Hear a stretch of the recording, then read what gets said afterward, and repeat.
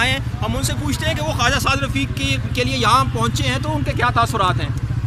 جی میں خواجہ صاحب کے لیے یہ تاثرات رکھتا ہوں کہ خواجہ صاحب، سعد رفیق پاکستان کا ایک روشن ستارہ ہے۔ اور وہ جو وہ جو وہ وہ شخص ہے جو اس پاکستان کا درد رکھنے والا آدمی ہے، اور وہ شخص ہے جس نے پاکستان کے اندر جو بھی قدم اٹھایا ہے، وہ نظریاتی طور پر اٹھایا اس کے والد صاحب نے شہادت دی اس پاکستان کی بہتری کے لیے، اور آج جب اس کو ایک پورٹ فولیو دیا گیا وہ وزارت کا، تو اس میں بھی اس نے کام کر کے دکھایا ہے، کیونکہ وہ پاکستان کا نظریاتی اور نواز شریف کا پکا سپاہی ہے، اور اس کے لیے میں ملتان سے یہاں آیا ہوں، اور ملتان سے آ کر، اور ہمارے ساتھی بھی یہ ملتان سے بہت سارے آئے ہوئے ہیں۔ اور ہم یکجہتی کے لیے ان کے ساتھ ہیں اور ان شاء اللہ تعالیٰ کامیابی ان کا مقدر چاہیے لیکن نیب نیب ان کو پوچھ رہی ہے پیراگون سٹی کا نام ان آ رہا ہے اور پھر یہ ریفرنس ہو رہی ہے اس پہ تو ان کو کھل کر وضاحت کرنی بھی چاہیے۔ وہ اسلام آباد ہائی کورٹ میں بھی گئے ہیں درخواست دینے اور ابھی بھی وہ اپنی ضمانتی درخواست جو ہے وہ لے کے وہاں پہنچے ہوئے ہیں۔ تو اس پہ آپ کیا کہیں گے؟ اس پہ میں یہی کہوں گا کہ آپ جانتے ہیں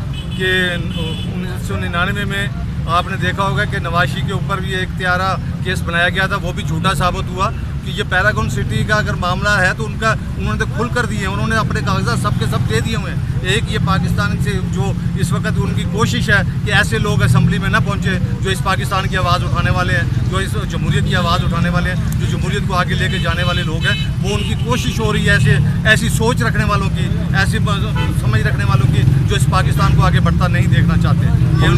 فواد چودھری ابھی کہہ رہے ہیں کہ پاکستان مسلم لیگ نواز میں فارورڈ گروپ موجود ہے اور وہ جب چاہیں وہ اپنے ساتھ لے سکتے ہیں وہ ابھی ٹھہرے ہوئے ہیں۔ اس پہ آپ کیا کہیں گے؟ وہ ان کے خواب خام خیالیاں جو ہے نا وہ ہمیشہ رہتی ہیں اور وہ جتنا کوشش کر سکتے ہیں ہم کیا ہم تو چاہتے ہیں کہ جو جانا چاہتا ہے وہ چلا جائے۔ لیکن الحمدللہ اس وقت میں مضبوط ہے مسلم لیگ ہوں۔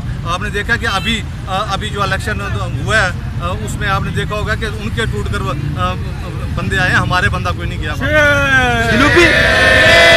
پاکستان تحریک انصاف، یہ پہلے سو دن کا ان کا منشور بھی ہے کہ جنوبی پنجاب، چونکہ آپ ملتان سے ہیں یقیناً وہاں کا جو ملتان، ڈیرہ غازی خان، بہاول پور اور گیارہ اضلاع مل کے ایک جنوبی پنجاب صوبہ محاذ بھی بنا ہوا ہے اور پاکستان تحریک انصاف خاص طور پر اس پر بات بھی کر رہی ہے کہ ہم وہ اس پہ کریں گے، عملی عملی اقدامات اٹھائیں گے۔ تو آپ کیا سمجھتے ہیں کہ یہ پاکستان مسلم لیگ نواز کا خاص طور پر اس پہ کیا موقف ہے؟ پاکستان مسلم لیگ نواز کا، آپ کو پتہ ہوگا کہ پاکستان مسلم لیگ نون نے پنجاب اسمبلی سے صوبہ بہولپور اور صوبہ جنوبی پنجاب کا قراردادیں پاس کی ہوئی تھی لیکن جو نہیں بنانے والے لوگ ہیں، وہی ان کے آگے جو رکاوٹیں بنتے ہیں۔ آج بھی آپ دیکھیں گے تو ان کا کوئی یہ نعرہ ہے ان کا کبھی بھی یہ سٹانس نہیں ہے اور نہ وہ کبھی بنائیں گے اس قسم کا۔ جب بن جائے گا تو ہم بھی دیکھیں گے آپ بھی دیکھ لیں گے کہ جب وہ اس اس کو آگے لے کے آئیں گے۔ ان ان کے پاس کوئی ایسا ایشو نہیں ہے جس کی وجہ سے وہ جنوبی پنجاب کو آگے لے کے جا سکے۔ آپ دیکھتے ہیں کہ جیسے آج بنا لیں ہم تو کہتے ہیں آج بنا لیں۔ ابھی ابھی آپ جنوبی پنجاب کا وزیر اعلیٰ وہاں رہ جائے گا لیکن یہاں سے ابھی وزیر اعلیٰ ہمارا پھر منتخب ہو جائے گا۔ وہ ایسا نہیں کریں گے وہ صرف ایک نعرے ہیں، آپ دیکھتے ہیں کہ کون سی بات ہے انہوں نے جو آپ ابھی سو دن کا پروگرام دیا ہے اس پہ کون سی ایسی بات ہے جس پہ انہوں نے پورا یو ٹرن نہ لیا ہو۔ آئی ایم ایف پہ جانے پہ وہ کہتا تھا کہ میں مر جاؤں گا، ادھر نہیں جاؤں گا، ڈوب مروں گا، آئی ڈوب مرنے کا مقام ہے تو وہ اسی گندے نالے میں ڈوب مرے۔ کیا سمجھتے ہیں پاکستان مسلم لیگ نواز سے یہ غلطی ہوئی؟ ابتدائی طور پر پانچ چھ سال یا دس سال پہلے کہ انہوں نے نوجوانوں کو اپنی طرف مائل نہیں کیا۔ اور ایک تیسری جماعت کا وجود اس وقت ہم پورے پاکستان میں دیکھ رہے ہیں۔ ایسی کوئی غلطی نہیں ہوئی ہے۔ آج بھی نوجوان مسلم لیگ نون کے ساتھ کھڑے ہوئے ہیں۔ سارے نوجوان جو